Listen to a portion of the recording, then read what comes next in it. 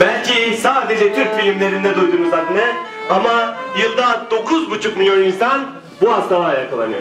Ve 1,5 milyon insan bu hastalık yüzünden yaşamını yitiriyor. Biliyor muydunuz? Amcacığım, teyzeciğim, abicim biliyor muydun? Belki, belki siz de hastasınız.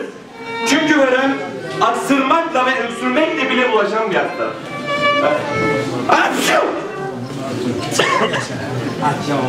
İşte, işte veremli bir hasta bunu yaptığında eliyle veya mendille ağzını kapatmazsa artık siz de verem hastası adayısınız.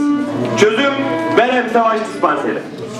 Verem en çok güneş görmeyen yerleri sever ve solunum yoluyla ulaşır. Peki, peki ne yapmak lazım? Hastalığı kaptıktan sonra tedavi olmak mı? Yoksa en başından beri korunmak mı? Korunmak demişken küçüklükten bildiğimiz hapşırırken veya öksürürken elimizle veya mendille ağzımızı kapatmak da bir korunma yöntemidir. Bu şekilde bulaşan bir hastalıktan utanılır mı? Elbette ki utanılmaz.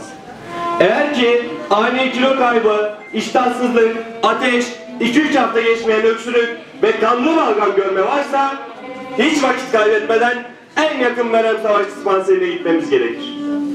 Bu hastalık sizde olmayabilir. Ama etrafınızdaki insanlarda olabilir. Siz farkına vardığınızda hastalığı çoktan kapmış olabilirsiniz. Ayrıca bu hastalığın tüm test ve tedavileri ücretsizdir.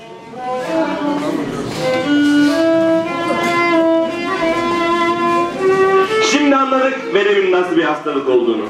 Verem tedavi edilmediği sürece bulaşıcı ve ölümcül bir hastalıktır. Eğer ki düzenli bir tedavi yolu izlenirse 15 günden sonra bulaşıcılığı kalmaz. Hem hastanın hem hasta olmayan insanların telaş etmesine gerek de kalmaz.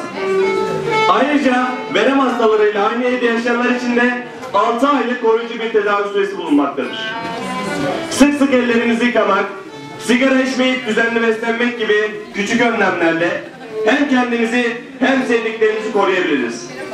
Verem bizi öldürür mü? Evet. Elbette ki tedavi olmazsak.